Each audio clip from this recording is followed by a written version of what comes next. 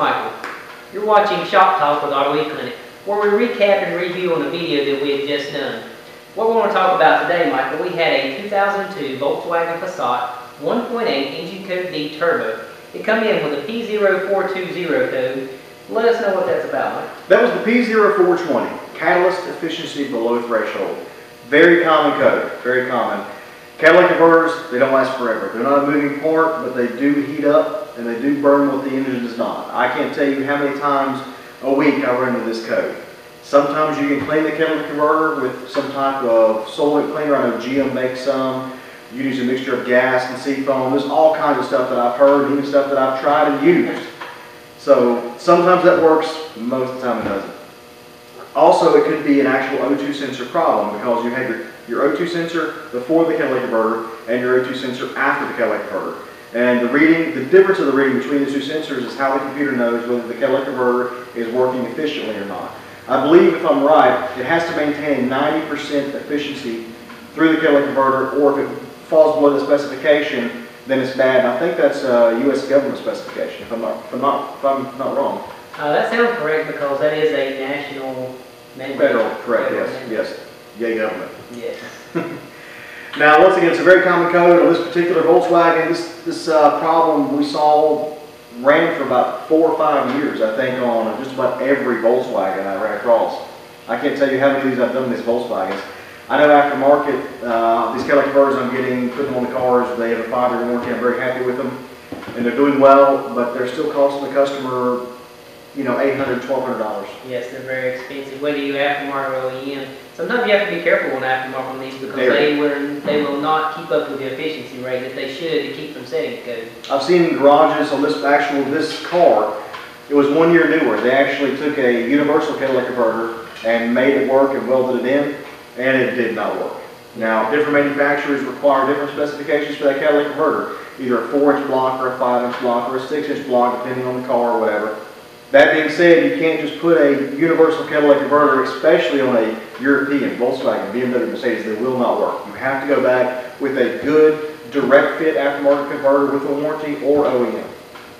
Yeah, most definitely. And if you want to do, you know, have this checked out yourself, make sure you get new gaskets as well. Because a lot of times, if there's a gasket there, you need to go ahead and replace it you could cause an exhaust leak. Absolutely. Now, this, what we did, this test is not always accurate. Now, we tested the inlet temperature versus the outlet temperature. There should be an increase in temperature from inlet to outlet. You should have a higher temperature on the outlet. In this case, we had a higher temperature on the inlet. Now, this is not a 100% foolproof test, but it does give you a good idea and a good generic idea. And we know the problems with these Volkswagens. It's just so common that these catalytic converters are bad. But we did spend the time and we did justify and verify that there was a catalytic converter problem. Because pretty much with any car, you should have a hotter outlet than inlet on a catalytic converter. Explain to us, Mike, why it's hotter and cooler. The catalytic converter burns what the engine does not. You still have some raw fuel coming out of an engine, no matter how efficient it's running. Now, the catalytic converter is made up of a lot of precious metals, precious metals, tungsten, zinc, all that jazz, platinum. And the catalytic converter heats up. And as it heats, it burns what the engine doesn't. But what's coming in is going to cool it off, and then as it gets, as it burns it, it gets hotter on the backside. Least that's how I know it, how I remember it. I'm sure I'm going to get corrected by somebody here. But that's how I see it in my head. So that's why the outlet temperature is hotter than the inlet temperature. Okay. Also, another thing you want to remember, whether you go with aftermarket or whether you go with OEM, there's also going to be a core charge. Oh yeah, oh yeah. I know uh, some of the catalytic converters I can sell to some people for as much as $100 for a core. Some are, you know, 20 bucks. Just all depends on what you have. But the precious metals, they recycle them because they are very expensive metals. Now, from the dealer side, you being with uh, GM, I know I work for GM too. Their catalytic converters are not cheap. Oh no.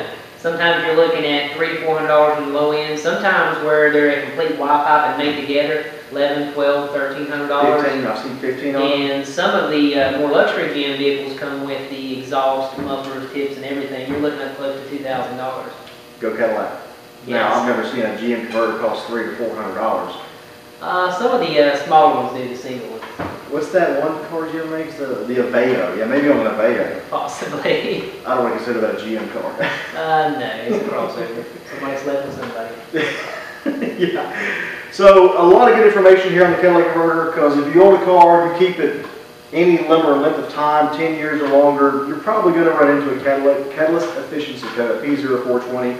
We hope you've given some, given some information here to push in the right direction for diagnostics. Another thing, Mike, uh, tell them what would kind of happen with some of the symptoms if your converter was failing. Now, they will sometimes stop up or block up. Now, and a lot of times when they block up, you will not get a code. I know I've tried to learn to diagnose these the hard way. And what you'll get is a reduced power. As, and the hotter the vehicle gets, the less power the vehicle has. At that point, you want to remove the before catalytic converter O2 sensor. That will allow the exhaust to escape, and if you have a power increase at that point, you know it's a stopped up catalytic converter. Okay. So a, you know, a converter code is something that you don't want to let stay on and not get fixed. No, no, it's only going to cause the car to be less efficient and eventually cause you more problems in the end. It, because it will change the fuel, because fuel is put into the car by the, the oxygen sensor readings.